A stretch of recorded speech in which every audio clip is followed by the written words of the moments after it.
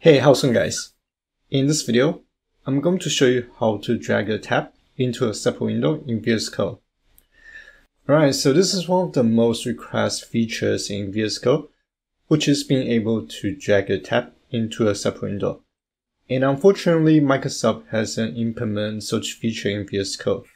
And I was able to uh, figure out a workaround how we can uh, use a separate window to modify the same file. Alright, so here I have a script called lesson.py. And the first thing I want to do is I want to open the uh, command palette using the shortcut Ctrl Shift P. Then I want to search for open active file in new window. And choose the option. And that will launch the same file in a separate window. At this point, these two windows are going to be treated as two separate uh, instances or processes. And what you want to do here is you want to open the setting window or the setting file. So here I'm going to uh, search for open settings, and which is going to be in JSON format. Now in the settings, we want to change the uh, configuration, how we want to auto save the file. In my settings, I'm setting my uh, autosave setting to uh, window change. What that means is every time uh, when your window focus uh, is out of focus, so for example, uh, if I type something uh, in my editor, so this is a command.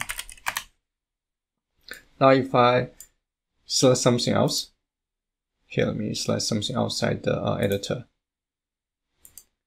Now going back to my first window, the command is not added because we're actually saving the file when the focus is lost.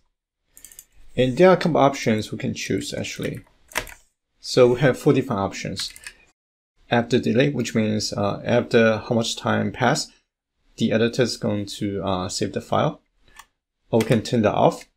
Or we can change the setting to on focus change or on window change. Uh, I usually use uh, on focus change, which means when the focus is on something else, the file will get auto saved. So here, let's I want to add another comment, this is comment 2. Now if I select back to the second window, uh, the second comment is going to get added. Alright, so this is going to be everything I'm going to share in this video, and hopefully you guys found this video useful. And as always, thank you guys for watching, I'll see you guys in the next video.